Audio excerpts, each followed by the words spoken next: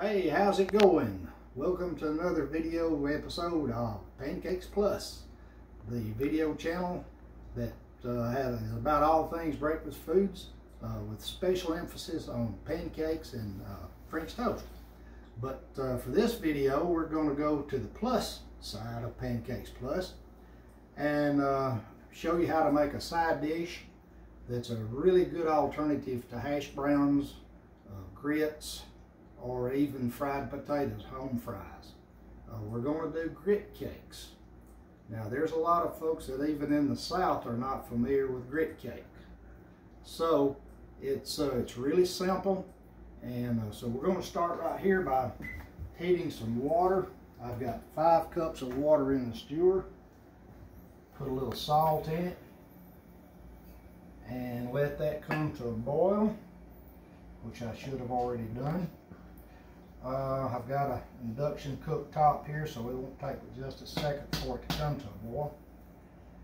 Then when I do that, when it comes to a boil, we're going to add one cup of Quaker Old Fashioned grits.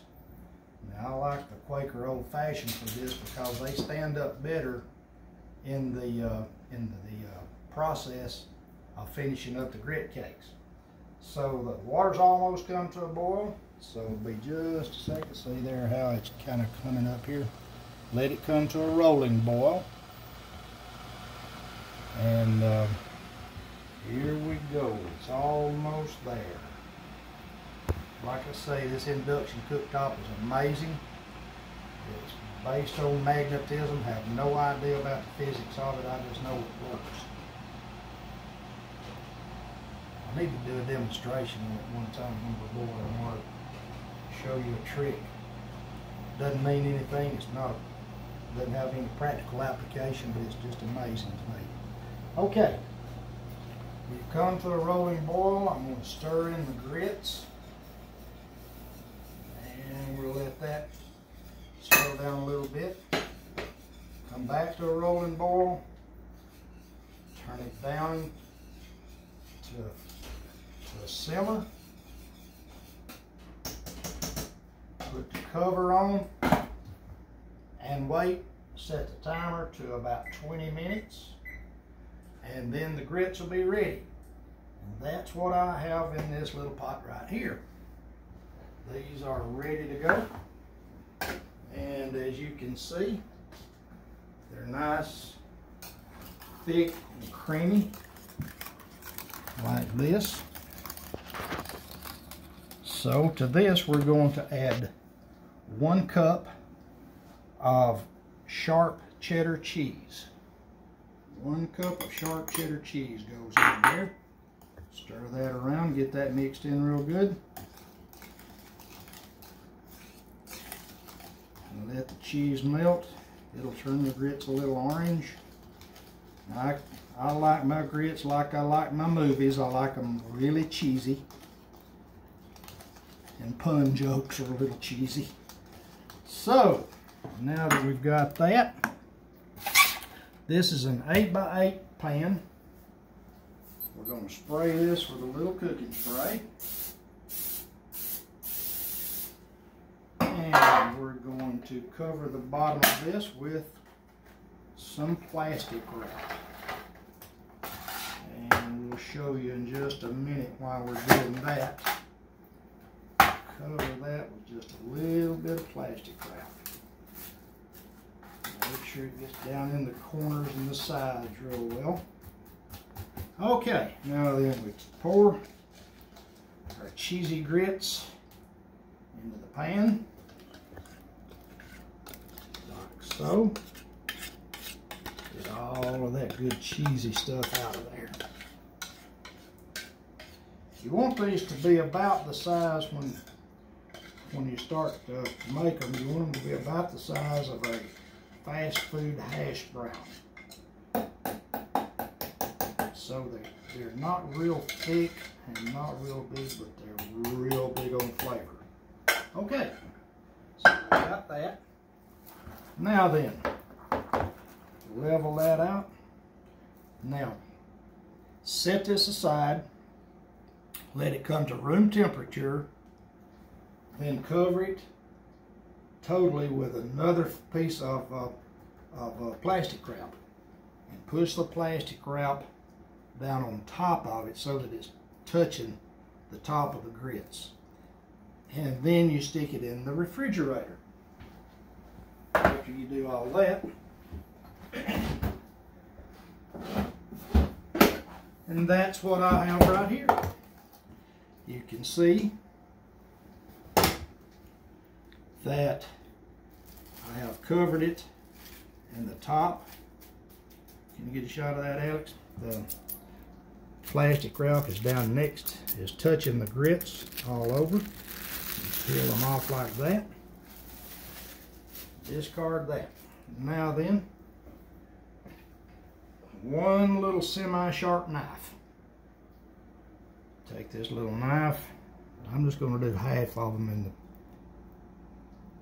in the grit cake style and then we'll come back later and do another style.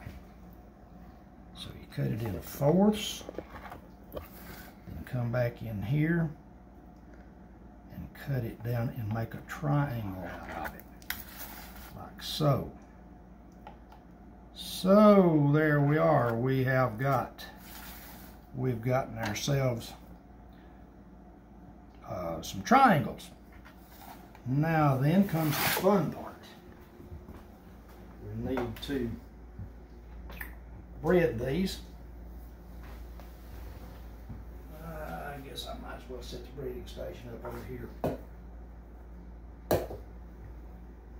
Don't have enough room over there. Okay. So, we're going to do a three-step bread on these.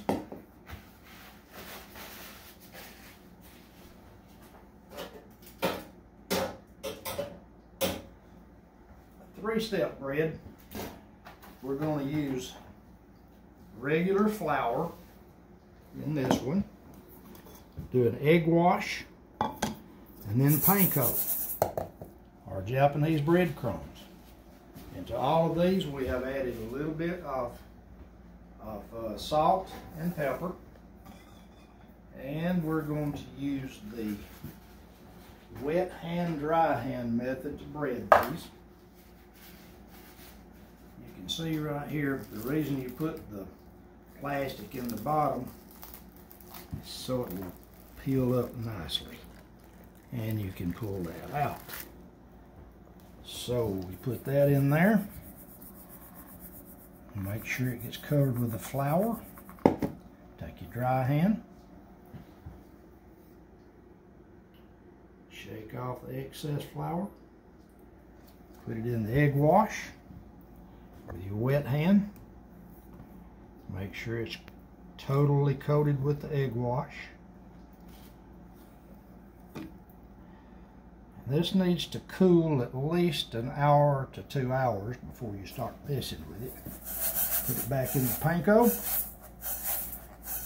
Put you some panko in there, kind of press it down, make sure the panko sticks to the sticks to the uh, grit cake like so.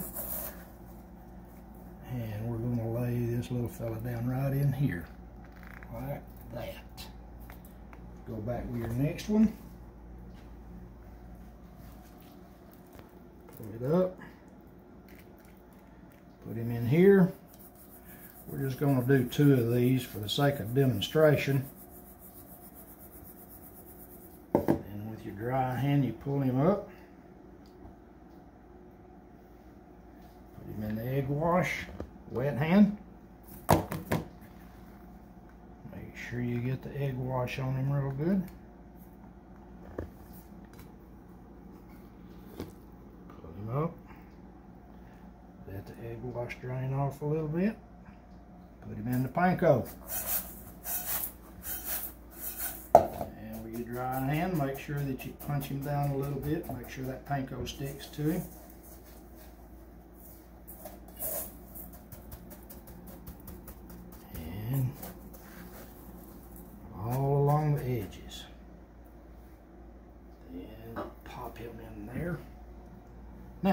Drop these in the deep fryer. Very carefully.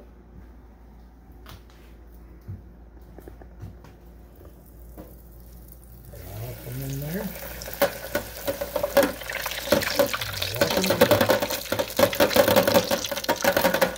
There it goes. It doesn't take long for them to fry. Then when they come out, drain them off here on our um, cooling rack that I've got on a sheet pan. Put aluminum foil over the sheet pan, then some paper towels to absorb the grease. So when they get finished, we will. Oh yeah. See how they're bubbling all nice and neat and pretty.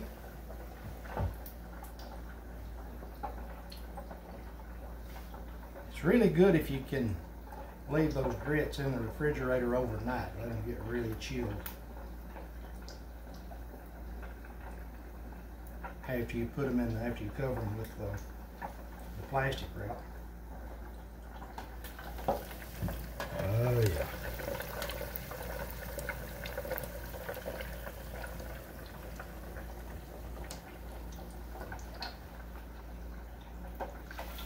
Look at that. How about that? Does that look good enough to eat or what? Let them drain for just a second. Pour them out on your cooling rack. Douse them with a little salt.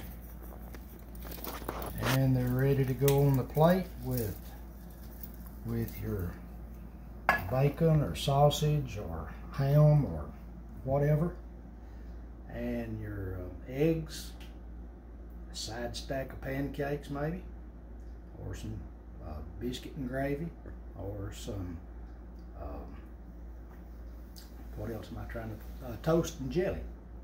Any of those, and that's, uh, so there you have it, that's grit cakes for breakfast. Now then, let's go back over to the uh, the cutting board here. I'm going to show you something else. When um, when you make your grits, before you pour them up, there's a lot of different things you can do to them. You can put in there whatever you would like to put. Um, I'm going to cut these into smaller triangles, like so.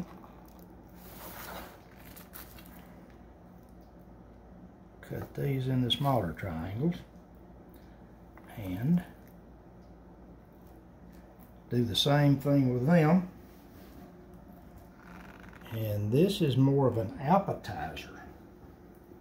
So if you put into the um, grits you could put uh, bacon bits and have maple syrup as a as a dip. You could put some jalapenos and use uh, Mexican uh, cheese and use a salsa as a dip. You could chop up some pepperonis, Italian sausage, uh, prosciutto, and Italian pizza cheese in the grits and uh, serve it with marinara sauce as an appetizer.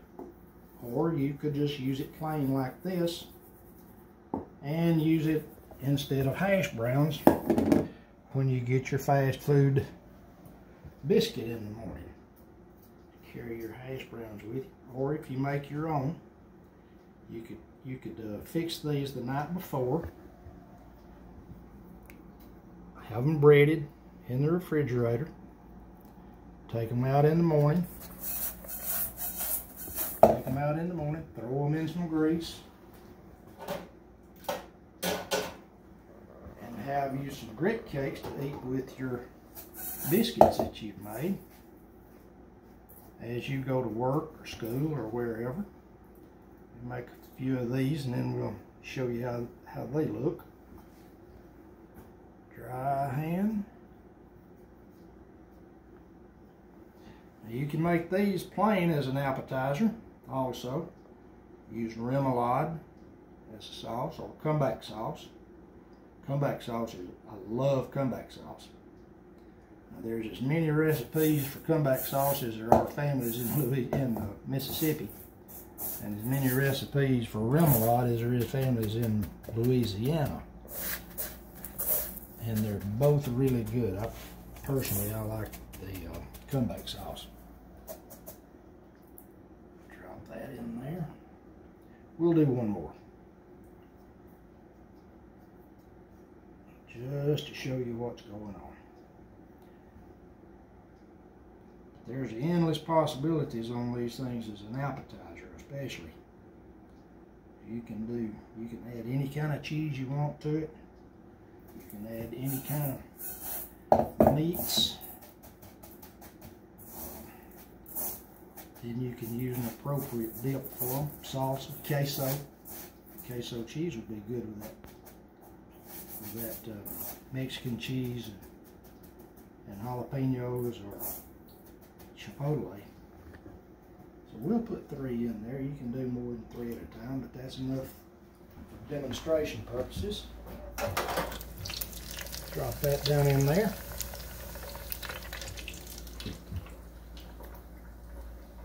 I think maybe two of these probably would be a good serving for a, for a breakfast. They're, they're fairly large.